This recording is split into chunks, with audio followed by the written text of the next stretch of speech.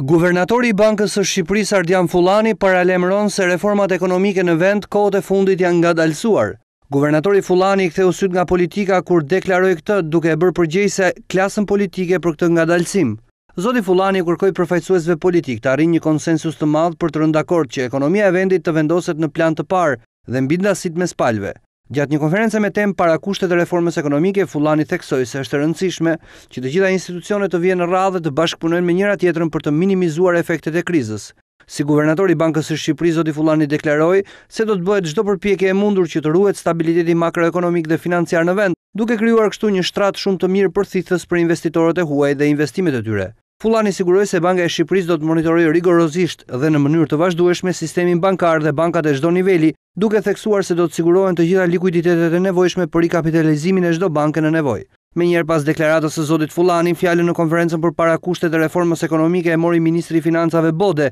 i cili iu bashkua shqetësimit të guvernatorit për nevojën e vazhdimit të reformave në vend. Shqipëria dhe vendet e rajonit, metaforizoi më tej Ridvan Bode, ndodhen në anën e duhur të bregut dhe janë shumë afër luginës ku duhet të shkojnë, ndërkohë që shumë vende të tjera të prekura maksimalisht nga kriza, ndodhen në bregun e gabuar dhe larg vendmbërritjes. Ministri u ndal më tej tek suksesi i reformave të parakrizës, të cilat e mbajtën dhe në periudhën e krizës borxhin publik në nivel të kontrollueshëm, papunësinë po në të njëjtin nivel, si dhe inflacionin stabël. Sfida më e madhe e jona, theksoi më tej Bode, është krijimi i një axhende të rritjes ekonomike që do të risjellë rritjen ekonomike shqiptare në nivelet e larta të parakrizës. Por kjo axhendë komplekse masash për rritjen ekonomike kërkon domosdoshmërisht koordinim veprimesh mes të gjitha instancave dhe institucioneve përkatëse, pra kërkon konsensus, duke mbërritur kështu në të njëjtin qëndrim me guvernatorin në lidhje me konsensusin politik në ndihmë të ekonomisë vendase.